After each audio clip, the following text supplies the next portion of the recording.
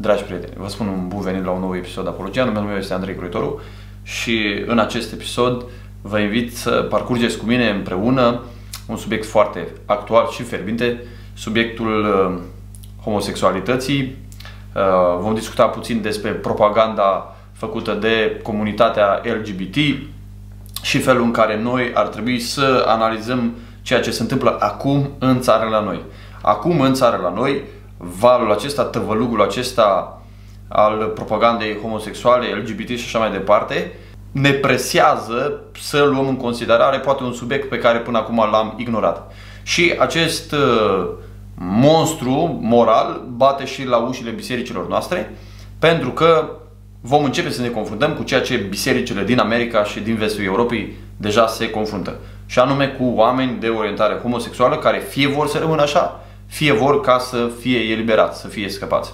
Voi uh, pune câteva secvențe dintr-un clip în care un tânăr pe nume Victor Novitski, care pretinde că s-a întors la Dumnezeu, povestește despre modul în care Dumnezeu i-a adus eliberare de această orientare homosexuală. Lucrul este deosebit de interesant și important pentru că el a fost invitat la emisiunea Acces Direct, unde este supus unui tir de unei avalanșe de afirmații care de fapt încearcă să-i pună la îndoială întoarcerea la Dumnezeu, să pună la îndoială faptul că orientarea lui homosexuală ar fi fost ceva greșit și cu atât mai puțin ceva păcătos. Uh, deci, în clipul acesta n-aș vrea să analizăm atât de mult ce spune Victor despre întoarcerea lui de la Dumnezeu, deși voi face câteva comentarii, ci felul în care e prezentatoarea, nu știu exact numele ei, felul în care prezentatoarea la această emisiune se vede foarte clar că este condusă de mentalitatea homosexuală LGBT și încearcă să îl, îl acopere cu afirmații, cu argumente foarte sentimentale uh, pe băiatul acesta și să pună sub semnul întrebării uh, nevoia lui de a se întoarce la Dumnezeu, nevoia lui de a se pocăi, de a se lăsa de păcatul acesta. Deci pune sub semnul întrebării uh, însăși structura de gândire creștină, însăși standardele, valorile uh, creștine. O femeie care vom vedea imediat uh, se uh, pretinde, din câte înțeleg eu, o femeie care crede în Dumnezeu, o femeie creștină.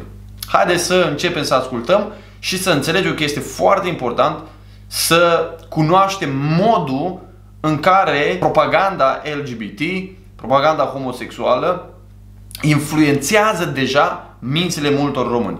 Propaganda aceasta care influențează deja mințile multor tineri, multor copii, multor adolescenți care sunt în țara aceasta și care sunt poate chiar în bisericile evanghelice. Uh, din nefericire, în vestul Europei, în America, sunt păstori, sunt evangeliști, sunt slujitori, așa zis, slujitori, că nu mai poți numi așa, care au mușcat din uh, minciunile acestei propagande diabolice și noi trebuie să învățăm din ceea ce ei au făcut greșit. Haideți să ascultăm câteva afirmații. Să-i spun orientarea ta sau... Fosta. Spun? Fosta, spui tu, da. Vezi, să-i spun orientarea ta sau cum să-i spun? El spune mai departe că e un păcat, veți auzi. El spune să-i spun orientarea ta, dar este o orientare, domnule, ești homosexual, da? Biblia spune homosexualitatea este un păcat, este o urăciune înaintea lui Dumnezeu. Este o scârboșenie în ochii lui Dumnezeu. Uh, prezentatoarea care se pretinde, din câte înțeleg eu, o creștină și ceilalți care sunt acolo, din câte uh, puteți asculta și dumneavoastră, ei se, crești, se consideră toți creștini. Uh, ei consideră asta a fi o orientare. O orientare, da? Vedeți modul în care se subminează structura de valori creștine. Da? Structura de valori care are la bază conceptul de păcat, conceptul de revelația lui Dumnezeu care stabilește ce este bine și ce este rău, conceptul de moralitate, conceptul de păcat. Orientarea homosexuală, practicile homosexuale, uh, mai bine spus, sunt un păcat în ochii lui Dumnezeu. Asta spune Sfânta Scriptură, da? Ea o numește orientare. Da? Orientare. Hai să auzim mai departe. Asta s-au gândit în primul rând la ce o să spună lumea. Vezi, despre asta e vorba, ce Da, spune exact. lumea. Vezi? Următoarea afirmație. Vezi, despre asta e vorba, despre ce o să spună lumea. De fapt, nu e o problemă cu tine neapărat că ai orientarea asta. Ea încearcă să submineze experiența lui și să facă să pară că nu e ceva chiar cu adevărat grozav, că de fapt problema lui a fost cu ceea ce o să spună lumea. Dar asta nu e o problemă, doar că lumea nu este obișnuită cu lucrul acesta. Vezi care, care sunt atacurile? Și oamenii încep să gândească, da domnule, poate eu am anumite inhibiții datorită a ceea ce spune lumea, dar de fapt lucrul ăsta nu este greșit, da? Și propaganda homosexuală a mers de aici spre pedofilie, spre căsătoria cu animale, spre tot felul de deviații. Sigur, în primă instanță, în primă fază, se vor nega toate lucrurile acestea. Vor spune, nu, noi nu vrem să ajungem acolo. Nu vrem să ajungem la înfierea copiilor de către homosexuali. Nu vrem să ajungem la uh, poligamie. Nu vrem să ajungem la tot felul de scârboșenii și de uh, urăciuni înaintea ochilor lui Dumnezeu. Nu, noi vrem doar ca doi oameni care se iubesc să poată să trăiască împreună. Domnule, asta este orientarea lor. De fapt, nu e așa. Vedeți, se încearcă a se portretiza această realitate ca și cum i-ar fi greșită doar pentru că așa spune lumea. Și aici este filo- o femeie care trăiește într-o țară creștină, probabil zice ea că trăiește într-o țară creștină, bănuiesc că asta crede și se consideră creștină, din câte înțeleg, discutând mai încolo despre Dumnezeu, uh, folosește filozofia ateistă, principii ateiste. Uh, moralitatea este stabilită de societate. Societatea românească a stabilit că homosexualitatea este rău, deci e rău, dar dacă societatea românească s-ar schimba, n-ar mai fi lucrul ăla rău și tu nu ai mai avea inhibiția aceasta. Cam asta e presupozția. Mergem mai departe. Mhm, Și cred că uh, te-ar fi iubit uh, sau te-ar iubi la fel și dacă tu într-o bună zi o să spui că de fapt orientarea ta e alta decât cea pe care tu spui cu aia acum. Deci băiatul ăsta spune că acum că nu mai are orientarea homosexuală și vedeți cum el atacă. Vezi, părinții tăi o să te iubească, stai liniștit. Uh, poate în tine încă este viermele ăsta care te roade nesiguranța aceasta că totuși poate nu-i experiența reală, dar stai liniștit, niciun fel de problemă. Părinții tăi o să te iubească oricum, nu? Că părinții tăi, nu se poate să nu te iubească. Vezi cum subminează treptat, treptat experiența acestui om, încearcă să-l liniștească și dacă ai avea orientarea aia, părinții tăi sunt părinții tăi, ei nu au cum să te urască, să te izgonească, indiferent ce ai fi făcut, părinții se vor relaționa la tine ca niște părinți. Mai zis, două chestiuni diferite. Faptul că părinții uh, lui ar putea să-l iubească în ciuda orientării sale, nu înseamnă că orientarea sa este bună, că e corectă, că e sănătoasă, da? Că e uh, curată, că e sfântă, că e acceptată de Dumnezeu. Două lucruri distincte, da? Dar se încurcă niște lucruri și, repet, asta se face, se subminează. Ascultați mai departe. Nu- Nu e, crezi că e important? Crezi că e așa de important? Orientarea. Eu zic, bă, nu e important. Crezi că e așa de important? Nu e important. Nu e important dacă un bărbat se culcă cu un bărbat, da? Nu e important dacă distrugem însăși celula care stă la baza unei societăți, unui stat care stă la baza existenței umane, căsătoria dintre un bărbat și o femeie. Nu e așa de important, da? Nu e așa de important. Bă, Te auzi ce spui? Tu auzi ce spui?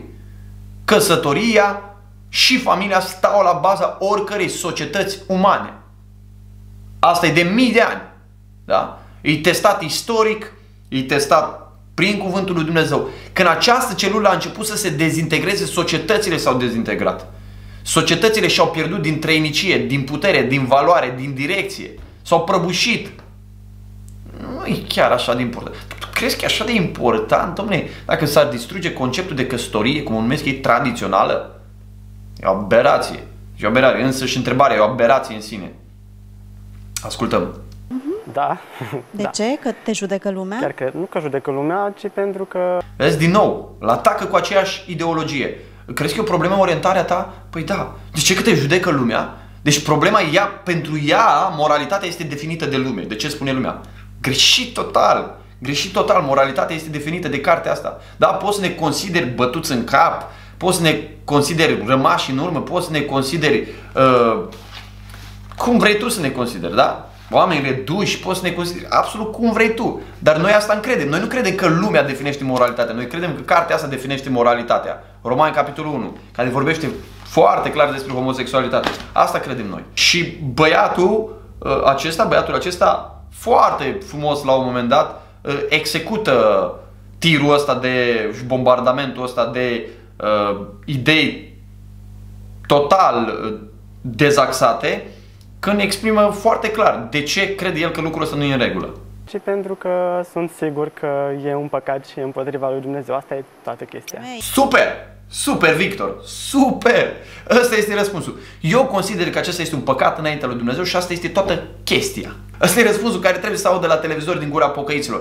Noi nu lucrăm cu presupoziții ateiste, noi nu lucrăm cu presupozițiile agnosticilor, noi nu lucrăm cu presupozițiile celor care definesc moralitatea în funcție de lume. E foarte, e extraordinar. Dacă ar fi marșat până la capăt pe chestiunea asta, ar fi fost excepțional. Excepțional. problema nu este ce spune societatea, nu e ce spun părinții. Toată chestia e că acesta este un păcat condamnat de Dumnezeu. Asta e toată chestia. Asta e, asta e creștinismul. Creștinismul este viața definită în relație cu Dumnezeu. Dacă Dumnezeu spune că e bine, e bine. Dacă Dumnezeu spune că e rău, e rău. Da, în Biblie ne sunt date motivații, explicații, argumentații și așa mai departe. Dar în ultimă instanță este bine și este rău pentru că așa spune Dumnezeu. Bineînțeles, repet, putem demonstra de ce este așa. Da? Se poate testa uneori biologic, științific, anatomic, în fel și chip, politic, social, civic, că ceea ce spune Dumnezeu este adevărat, dar în ultima instanță El este standardul. Excepțional răspunsul. Excepțional răspunsul foarte controversat, da. cel puțin în societatea noastră. Poate că dacă am fi trăit în Occident sau în America, lucrurile acolo sunt mai relaxate, oamenii au acceptat mult mai ușor faptul că există oameni care au o altă orientare. Vedeți? Din nou, ea este, mintea ei așa construită, e, e construită ca să se fie angajat în procesul ăsta de deconstruire a valorilor creștine. Asta pe, mintea este total anticreștină, este total anticristică, este total anti-Dumnezeu, este total ateistă mintea ei. Indiferent de ce spunea cu gura ei, că Dumnezeu, că nu știu ce. Subminează din nou. Vezi, dacă eram într-o altă societate, societatea noastră este mai reticentă, societatea noastră nu. Dar vezi, dacă erai în altă parte, în America, lucrurile ar fi putut să fie mai bine, da? Deci problema nu este orientarea ta, problema este societatea noastră. Dacă erai într-o altă societate mai evoluată, o societate în care oamenii sunt mai relaxați, asta nu este o valoare. Deci dacă cineva ți-ar viola ție fata, tu n-ai spune, oh, suntem într-o societate în care oamenii sunt mai relaxați și asta nu e o problemă. Nu, e o absurditate. Eu nu spun că homosexualitatea este la fel ca violul, sunt două păcate distincte, grave în ochii lui Dumnezeu, care merită pedepsa lui Dumnezeu. Ambele. Sunt diferite din multe puncte de vedere, da? Când homosexualitate poate să fie consens. Și aici nu este consens. Fac distințiile, nu mă înțelegeți greșit. Dar rămâne păcat pentru că așa spune Dumnezeu. Și că se poate demonstra chiar că este păcat. Și nu are nimic de a face cu societatea. Faptul că societatea devine relaxată față de un păcat nu înseamnă că ăla încetează să fie păcat. Faptul că societatea devine relaxată față de un lucru rău, că începe să accepte lucrul ăla, nu înseamnă că lucrul ăla devine bun pentru că societatea devine relaxată. Deci este irațional ce spune. Deci, eu nu mă, ra- mă raportez în primul rând la Biblie. Biblia este baza mea și nu mi este rușine de lucrul ăsta. Dar ce spunea este irațional, n-are nicio logică. N-are absolut nicio Nu funcționează chestiunea asta. Dacă mâine societatea ar spune că femeile care uh, au părul ca ea trebuie omorâte, înseamnă că trebuie omorâte doar pentru că așa spune societatea. E absurd, n-are nicio logică. Fapt, nici nu poți să spui despre heterosexuali că sunt normal și ceilalți ar fi anormal. Nu, nu deci de asta nici nu vreau să folosim termenul normalitate aici. Ok, bine. Da? Ia auziți ce spune. De aceea nu poți să spui despre uh, homosexual sau uh, heterosexual că ar fi o anormalitate, de aceea nici nu folosim termenul. Aveți, ea nu spune de aceea eu nu pot să spun. Eu spun convingerea mea, tu, tu o spui pe a ta. Că el a spus deja că aia este păcat. El a spus deja. Dar ea îi induce, psihic, îi induce lui ideea asta. Nu poți să spui așa ceva că ar fi anormal. Hei, nu poți să spui așa ceva. Și el spune, ok, din respect pentru ea spune, ok, nu, el crede că e păcat, că a spus deja un minut înainte, da? El crede că e păcat. Dar ea induce lui ideea asta, da? Vrea să-l, să-l, să-l preseze, să nu cumva să spui că asta ar fi o anormalitate. Da, Domnul, este anormalitate. Mm-hmm. Este anormalitate. Ba, asta este. Și el crede că este anormalitate pentru că este un păcat împotriva lui Dumnezeu. Și tot ce este păcat împotriva lui Dumnezeu este anormal. Dumnezeu n-a creat lumea așa, n-a lăsat lumea așa și este anormal. Este păcat, este irațional, este anormal, este destructiv pentru societate și pentru cei care practică lucrul ăsta. Noi spunem lucrul ăsta pentru că iubim pe oamenii care fac lucrurile acestea. Noi ne-am înfiorat, oh, am văzut un homosexual, gata, ne dăm de ceasul morții. Nu! Îi iubim și vrem ca ei să ajungă la cunoașterea adevărului și să se pocăiască și să primească eliberare de la Dumnezeu. Mai departe. Da, uh, vreau să te întreb, uh, Victor, pentru că tu ai povestit că te-a ajutat un pastor Practic, m-a ajutat un pastor, m-a ajutat Dumnezeu. Pastor a fost cumva un sprijin abia când a aflat despre faptul că m-am vindecat, adică m-a încurajat și uh, mi-a arătat că, bă, chiar dacă încă ai fi avut problema asta, noi ți-am fi fost alături, adică nu te-am fi judecat sau ceva, te-am fi ajutat să treci peste. Super, e excepțional, uh, cel puțin prima parte din răspunsul lui, uh, zice, ea încearcă din nou. Ei, tu te-ai schimbat pentru că te-a ajutat un pastor. Bineînțeles, dacă ăștia sunt religioși și nu cred în chestiile astea, el a încercat să te influențeze cu filozofia lui, dar nu că ar fi trebuit să facă lucrul ăsta. El o taxează. Nu, e vorba de Dumnezeu care m-a eliberat, care m-a vindecat. Uh, și este foarte important ceea ce spune. Este foarte important ceea ce spune că nu pastru, nu un om, Nu e vorba despre faptul că niște popi, niște preoți, niște păstori sau niște oameni religioși încearcă să ne convingă de teoriile lor. Ci este vorba de faptul că consideră că lucrul ăsta este păcătos și că Dumnezeu poate interveni supranatural, miraculos în viața noastră să ne curățească, să ne elibereze, să ne uh, vindece sufletele de păcatele uh, acestea care ne uh, macină.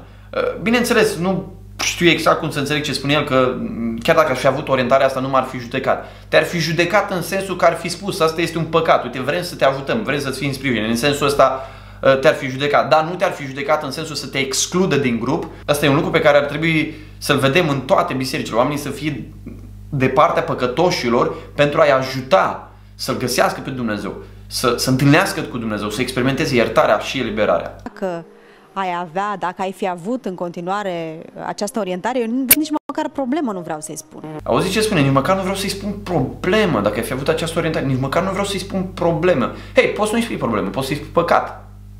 Poți să-i spui perversiune, poți să-i spui urăciune, poți să-i spui scârboșenie, poți să-i spui monstruozitate. Am o grămadă de termeni pe care ți pot da, o grămadă de sinonime o grămadă de termeni biblici prin care poți descrie păcatul ăla. Tu nu poți să-i spui. Noi lucrăm de pe altă temelie, înțelegi? Tu lucrezi despre o temelie, un nisip mișcător. Viața ta este așezată pe un nisip mișcător în funcție de ce spune societatea, în funcție de ce spune moralitatea lumii, în funcție de ce spui tu împreună cu alții. Nu asta este temelia de pe care noi funcționăm, nu asta este temelia biblică, nu asta este temelia creștină. Nu? Discuți cu un creștin aici. Trebuie să accepti baza lui, nu baza ta. Și a spune, oh, ce, Dumnezeu nu te-ar fi acceptat oare dacă tu ai fi avut orientarea asta? Vedeți, e foarte finus ce spune aici. Ia ascultați. Mhm, Dumnezeu te iubește oricum, dar problema e la oameni, nu? Exact. Ia auziți, Dumnezeu te iubește oricum. Problema este la oameni. Vreau să citesc, poate doamna aceasta va asculta vreodată uh, clipul acesta. Ia auziți ce spune Biblia. De aceea Dumnezeu a lăsat pradă necurăției să urmeze poftele inimilor lor, așa că își ne cinstesc singuri trupurile. Din pricina aceasta Dumnezeu a lăsat în voia unor patim scârboase, că și femeile lor au schimbat întrebuințarea firească a lor într-una care este împotriva firii. Tot astfel și bărbații au părăsit întrebuințarea firească a femeii, s-au aprins în poftele lor unii pentru alții, au săvârșit parte bărbătească cu parte bărbătească, lucruri scârboase.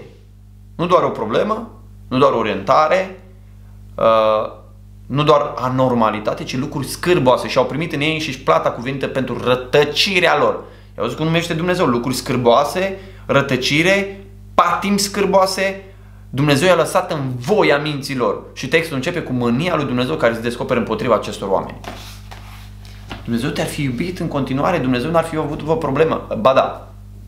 Ba da, Dumnezeu ar fi fost mânios. Și mânia lui Dumnezeu se manifestă prin faptul că Dumnezeu lasă o societate ca să creadă lucrurile astea, ca să practice lucrurile astea și să se afunde în scârboșeniile astea. Și oamenii aceștia vor suferi mânia lui Dumnezeu pentru eternitate. Despre asta este vorba. Mm-hmm? Despre asta este vorba. Dumnezeu te iubește oricum, nu? Dumnezeu, pentru că l-a iubit, l-a eliberat. Dar Dumnezeu te primește oricum, dar nu te lasă niciodată așa, ci te schimbă. Dumnezeu care se mânie pe tine datorită păcatului tău, este Dumnezeu care, din dragoste pentru tine, concomitent, este mânios pe păcatul tău și pe tine datorită păcatelor pe care le faci și concomitent prin dragostea lui te atrage la tine ca să te schimbe, să te elibereze, să te ierte, să te vindece, să te mântuiască. Despre asta este vorba. Ai un Dumnezeu diferit de al meu. Ascultă-mă. Ai un Dumnezeu diferit de meu. Și aveți un Dumnezeu diferit dacă voi crede, dacă Dumnezeu vostru vă permite să trăiți în patim scârboase, da? vă permite să faceți lucrul acesta și nu e niciun fel de problemă. Nu e niciun fel de problemă pentru voi. Nu? Problemă, pentru că eu consideram o problemă și o consider o problemă. Dar cum? cum Ia zis, el consideră o problemă. Îi spune, nu, consideră o problemă, da? Mai înainte a spus păcat, acum începe să folosească terminologia ei, pentru că atât l-au bombardat cu, cu asta și mi se pare mie că a coborât puțin standardul. Ți-ai dat seama? Din ce anume, Victor? Din anturaj, din societate, din ce se promovează în societate și apoi l-am cunoscut pe Dumnezeu într-o altă manieră față de cum îl știam până atunci. Și citind din Biblie, să zic, mi-am dat seama că e păcat. Adică scrie acolo. Și... Super, super, din nou! Am citit din Biblie, asta e baza creștinismului și mi-am dat seama că este păcat. Dumnezeu mi s-a descoperit, Dumnezeu m-a întâlnit, Dumnezeu a lucrat. Este păcat. Frontal, direct. Ăsta este răspunsul. Biblia, Dumnezeu spune, este păcat. Asta e apologetica care se cere de la creștini. Asta este apărarea credinței noastre care se cere de la creștini. Asta a fost întâlnirea mea cu Dumnezeu, experiența mea cu Dumnezeu, asta am găsit în cuvântul lui Dumnezeu, asta m-a convins, asta m-a cercetat, asta m-a luminat, asta s-a întâmplat în viața mea. Asta spune Sfânta Scriptură. Excepțional, excepțional. Ăsta e răspunsul. Ăsta este răspunsul. Prietenii tăi ai simțit la ei uh, că te respingeau? Nu, la prietenii adevărați n-am simțit asta. Prietenii apropiați, cei mai apropiați, nu. Au Ai rămas la simțit fel. judecat? Nu. Discriminat? Nu. Atunci care era problema? Vedeți, ea din nou, ea crede că el a trăit experiența asta pentru că ar fi fost discriminat, judecat, respins. Ei n-au făcut prietenii lui lucrul ăsta. Și totuși el a renunțat la practicile lui, la orientarea lui. Păi de ce? Ea nu a acceptat nimic din ce a spus el.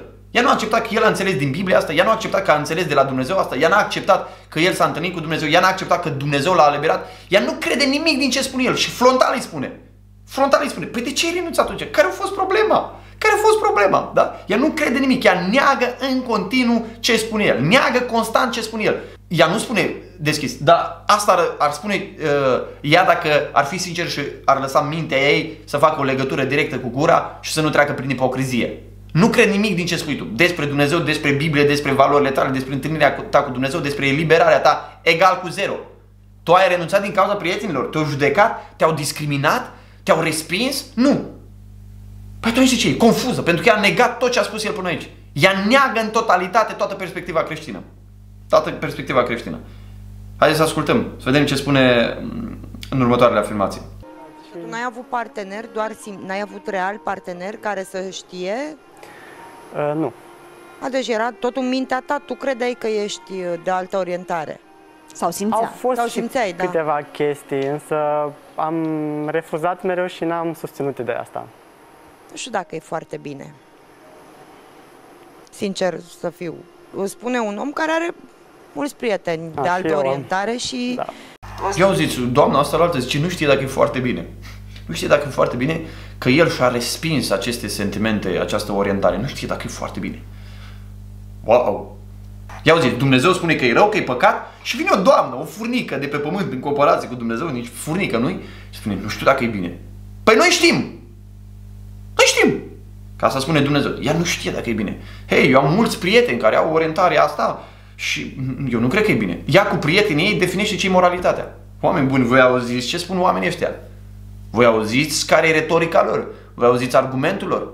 Voi auziți iraționalitatea? Lipsa totală de logică din ce spune ei. N-are nicio logică, nimic nu există logică în ce spune ei. Absolut nimic. Absolut, absolut nimic. Ea are niște prieteni. Eu nu cred că e bine. Păi și dacă nu crezi tu, care treabă? Adică, gândești, de ce l-aș da eu pe Dumnezeu la parte și aș lua părerea ta și a prietenilor tăi? Ești tu Dumnezeu? Sunteți voi Dumnezei? Asta face ateismul. Asta face agnosticismul. Asta face o religie asumată numai cu mintea, că probabil chiar zice că crede în Dumnezeu. O religie asumată cu mintea, dar respinsă în practică. Asta face. Îl dai la o parte pe Dumnezeu, a, noi nu credem în Dumnezeu. Și pui în loc un milion de Dumnezei. Ce spun prietenii, ce spun eu, dar vedeți cum se contrazice ea cu doamna cealaltă. Uh, ea spunea din cauza prietenilor, din cauza părinților, oare din cauza lumii? Uh, vezi, la noi oamenii nu sunt prea obișnuiți, cred că din cauza asta. Uh, deci moralitatea este definită în funcție de lume. Uh, și ea nu e de acord cu asta. Nu ar trebui să definească lumea moralitatea. Vine următoarea doamnă care vorbește acum și spune uh, Păi vezi, prietenii mei spun că e ok, prieteni, am prieteni care practică lucrul ăsta și pare să fie ok. Păi acum, definim moralitatea în funcție de oameni sau nu o definim? Ca să ne hotărâm. Eu cred că nu. Voi credeți că da. În aceeași emisiune, două doamne care sunt pe aceeași baricadă folosesc două argumente care se bat cap în cap. Una spune într-un fel, una spune în altfel. Una folosește argumentul, una respinge argumentul. Una spune odată să ne luăm după grupul ăsta, alta spune să ne luăm după grupul celălalt. La ce ajungem? Înțelege la ce ajungem într-o societate când ai respins temelia moralității pe care o pune Dumnezeu. La ce ajungem? Ajungi la următorul lucru. Nu știi pe cine să asculți. Ajungi la această sintagmă foarte uzată. Un grup de cercetători a spus că Bă, să-i ascultăm pe ăștia. Păi alt grup de cercetători a spus altceva. Îi ascultăm pe ăștia și tot așa. Când ai respins, când ai respins temelia morală pe care o pune Dumnezeu. nu știu dacă e bine să-ți înfrânești ceea ce simți. Deci, o prostie mai mare în clipul ăsta, în tot interviul ăla nu puteți auzi. Nu știu dacă e bine să înfrânezi ce simți. Ba da, doamnă. Ba da. Orice om care e sănătos la cap, ascultă-mă, nu religios, sănătos la cap, va simți de o grămadă de ori uh, numai într-o zi, numai într-o săptămână, să spună lucruri, să facă lucruri, să acționeze, să procedeze în moduri greșite, dar el simte să le facă. Și totuși nu le face. Știți de ce? Pentru că nu se ia după filozofia ta. După filozofia ta. Da? Uh, te-ai pus în locul lui Dumnezeu și acum spui tu, mă, nu-i bine să nu faci ce simți. Adică simți să te implici într-o patimă scârboasă, într-o practică scârboasă, implică-te. Dacă cineva într-o zi simte să culce cu un animal, e bine? A, păi, păi, păi exagerat, dar așa simte el. nu e bine să-și înfrâneze sentimentele, așa simte el. Nu? Așa simte el. Nu vă mai dau alt. Alții simt să se culce cu copii. Poate tu spui pe ei abuză. De ce să fie abuz? Poate copilul tău e de acord. Ăla de 6 ani, 7 ani. De ce să fie greșit? Care e problema? Cine definește? Dacă el așa simte, poate și copilul simte. nu e bine să-și înfrâneze sentimentele. N-are nicio logică, n-are rost. Ok, acum dacă vreți să spun că am făcut și unele chestii, da, însă totuși am negat cumva teoretic, să zic. Dar de ce, Victor? Că asta nu se Pentru eu. că De ce? ceva Că din ți era interiorul frică? meu- Ți era Nu frică? dar era bă, vocea interioară care îți spune că nu e ok ce simți. Faptul că nu le-ai spus părinților, ți-a fost frică de reacția lor? Prima chestie. Sau prietenii, sau societatea, sau... I-au zis, dar de ce, Victor? De ce puteai să-l lași? E o problemă că te-ai schimbat. Femeia pledează pentru a se întoarce la ce a făcut el înainte. Dar de ce, Victor? Ți era frică? Trebuie să fie altceva decât experiența cu Dumnezeu. Trebuie să fie altceva decât Biblia. N-are logică să te iei după Biblie. N-are logică să te iei după Dumnezeu. N-are logică să te iei după ce ți-a spus un păstor. N-are logică. Dar de ce, Victor? Ți-a fost frică. Nu te cred că ai avut o experiență cu Dumnezeu. Nu cred, te cred că te-ai lăsat convins de Biblie. Nu te cred că te-ai întâlnit cu Dumnezeu. Nu te cred. Ți-a fost frică. Oamenii, lumea, prietenii. Ea nu crede nimic. Deci el bombardează în continuu ca să nege uh, experiența uh, lui cu Dumnezeu. Răspunsul lui din nou, din nou, uh, țineți minte care a fost răspunsul lui. Este păcat, așa spune Dumnezeu, m-am întâlnit cu Dumnezeu, ascultați următorul argument al lui. Cu anturajul, să nu te judece, să vorba nu te, despre societate în general. să nu te uh, excludă. Da, probabil. Dar îți spun că prima chestie și cea mai importantă era vocea interioară care îmi spunea că nu e ok. Dar Auziți, este vocea interioară care îți spune că nu e ok ce simți. Romani, capitolul 2 spune așa, când neamurile măcar că n-au lege fac din fire lucrurile legii, prin aceasta ei care n-au lege sunt singuri lege. Ei dovedesc că lucrarea legii este scrisă în inimile lor, fiindcă despre lucrarea aceasta mărturisește cugetul lor. Cugetul lor și gândurile lor care sau se învinovățesc sau se dezvinovățesc între ele. Da? E cugetul pe care Dumnezeu l-a lăsat și care are o lege internă și care ne spune, vocea interioară care ne spune, care e activ acolo. Soldatul lui Dumnezeu, uh, megafonul lui Dumnezeu în sufletele noastre. Da? O femeie care și-a distrus conștiința nu mai simte nimic, nu mai spune nimic conștiința, a făcut-o praf și pulbere, a făcut-o praf și pulbere. Din nou, din nou se neagă total experiența lui. Ia ascultați. frică de reacția lor. Prima chestie. Sau prietenii, sau societatea, sau anturajul. I-au zis părinții, prietenii sau societatea, deci tu n-ai avut nicio experiență cu Dumnezeu, ți-a fost frică de prieteni, de părinți, de societate. Să nu te judece, să nu vorba te, despre societate în general. să nu te uh, excludă. I-au zis excluderea, judecarea, discriminarea, respingerea. Astea sunt motivele. Nu că ai avut o experiență cu Dumnezeu, nu că tu ai crezut Biblia, da? Nu că tu ai crezut Biblia, ea nu crede nimic. Nimic, nimic, nimic din ce spune. Vă, vă continui să vă arăt lucrurile astea pentru că cu asta se va merge. Ei vor nega absolut tot ce este creștin, dumnezeiesc, Biblie. Tot. Tot vor nega. Da, probabil. Dar îți spun că prima chestie și cea mai importantă era vocea interioară care îmi spunea că nu e ok. Dar de ce simțeai tu că nu e ok? Nu știu, e ceva ce Deci vocea interioară i-a spus că nu e ok, da? Conștiința. Dar de ce crezi tu că nu e ok? N-a înțeles nimica. O femeie care nu are conștiință, n-a înțeles absolut nimica. O femeie care își neagă conștiința și a necat probabil vocea conștiinței. Și a necat-o prin argumente, prin justificări, prin scuze, prin teorii, prin filozofii și a necat-o și ea nu mai, nu, nu mai are conceptul de voce lăuntrică, conceptul de conștiință care lucrează atunci când este atinsă de Dumnezeu. Nu mai are nicio, nicio temelie, nicio temelie în conștiință. Conștiința e total debusolată, e praf. Șoptește din interiorul tău care spune că nu, a, nu așa ai fost creat să fii. Și nu e bine ce faci. Și E o dezamăgire totală pentru doamnele astea. Ceva care spune că nu așa ai fost creat. Nu așa ai fost creat. Wow, crezi în creație, nu crezi în Big Bang, nu crezi în evoluție. Da? Nu, nu știu dacă înțelegeți ce spune băiatul ăsta. El face așa, într-un limbaj foarte simplu, o implozie. O implozie la toată filozofia ateistă. Cel puțin din perspectiva lui. Dom'le, vocea lui lăuntrică, întâlnirea cu Dumnezeu, Sfânta Scriptură, conștiința toate adunate la oaltă îi spun nu așa a fost creat. Nu așa a fost creat. Dumnezeu este creatorul și ne-a făcut într-un sens, într-o direcție, cu o orientare. Da? Tot ce e opus la ce spune Dumnezeu este păcat. Este păcat. Tu erai un băiat religios Nu eram, devenisem după. și vocea aceasta de unde o aveai? Presupun că tot de la Dumnezeu aveam, că Dumnezeu își lasă amprenta pe noi odată ce El ne-a creat. Excepțional. Omul se întreabă, de unde aveai vocea asta? N-ați auzit de conștiință oameni buni? Voi în ce lume trăiți? Voi care după aia discută ei despre Biblie, nu mai am timp acum despre Biblie, care Biblie e bună, ortodoxă, baptistă. Deci ei oamenii știu ceva, ei sunt religioși, ei cred în Dumnezeu. Vocea aia interioară de unde? La unde? De unde o aveai? Păi de unde știai? Păi cum? De unde? Ce există așa ceva? Oamenii ăștia n-au conștiință. Oamenii ăștia religioși n-au auzit în viața lor de conștiință. N-au citit în viața lor Biblia. Dar sunt foarte pricepuți în a discuta care Biblie e bună și care nu. Și ce e bine și ce e rău. Ăsta este creștinismul ateist cel mai frecvent în România. România nu este o țară creștină. România este o țară creștină ateistă. Care practic mărturisește cu gura pe Dumnezeu, Biblia pe Hristos, o afirmă, o mărturisește. Dar în practică îl neagă și trăiesc oamenii ca niște atei, trăiesc după capul lor. Neagă absolut tot ce este dumnezeesc. Băiatul ăsta răspunde foarte clar. Este o voce lăuntrică care i-a spus. Ce i-a spus? Și vocea aceasta de unde o aveai? Presupun că tot de la Dumnezeu aveam, că Dumnezeu își lasă amprenta pe noi odată ce El ne-a creat. Deodată ce Dumnezeu ne-a creat, asta e presupoziția. Sigur, băiatul ăsta, Victor, n-a făcut el toată filozofia pe care o fac eu acum, dau sau toate explicațiile astea, dar are un sistem de valori acolo în capul lui care funcționează. Dumnezeu așa ne-a creat, asta e pre- presupoziția. Vocea aia lăuntrică, dacă spune tot ce spune și Biblia, da? dacă se potrivesc, înseamnă că vocea asta vine tot de la Dumnezeu. Hai cum vocea lăuntrică care spune ce spune și cuvântul lui Dumnezeu vine din altă parte, da? Tot de la Dumnezeu. De ce? El este creatorul nostru. Ceea ce ei ignoră total în toată discuția asta. Total ignoră. Poți să-mi spui, te rog, ce studiezi? Da, publicitate. Publicitate. Da. Uh, Să știi că e un mediu cu oameni foarte open-minded, foarte deschiși, da. deci nu cred că ai fi avut o problemă cu orientarea pe care spui că o aveai și pe care nu o mai ai acum. Vedeți? Ultimul atac, nu mai poate. Ultimul atac de ultima. Ce studiezi? Puf, Publicitate. Păi, acolo sunt oameni care te-ar fi primit, te-ar fi acceptat. Ce-a fost cu tine?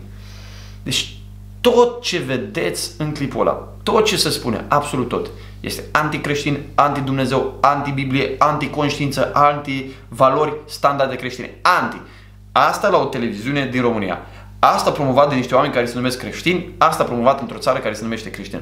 Reacții care mai de care mai iraționale și lipsite de orice fel de, uh, de argumentație logică, nu mai numim biblică, logică. Ce am vrut să vă arăt în clipul acesta este modul în care se promovează propaganda homosexuală. Este irațional, oameni buni.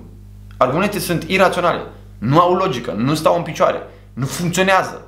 O societate se prăbușește dacă s-ar baza în toate lucrurile pe această filozofie, pe aceste teorii, pe aceste principii, pe aceste standarde, pe aceste valori dacă s-ar baza în toate domeniile ei. Dar asta se promovează, asta se ascultă și încetul, încetul se infectează cu acest virus mincinos, se infectează mințile oamenilor care stau cu capurile în televizoare și ascultă toate enormitățile astea de la niște femei care n-au absolut nicio treabă, nici cu Dumnezeu, nici cu Sfânta Scriptură, nici cu creștinismul și n-au absolut niciun fel de interes pentru o societate normală, pentru o societate care să funcționeze bine, niciun interes nu au. Niciun interes nu au, să știți.